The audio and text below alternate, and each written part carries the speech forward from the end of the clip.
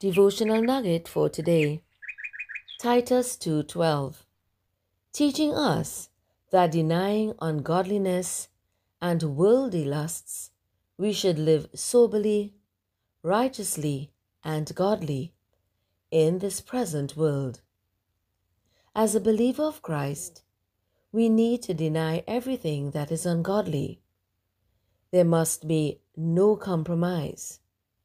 We need to be alert and sober minded and live godly lives. Are you setting a godly example every day, my friend? God bless you.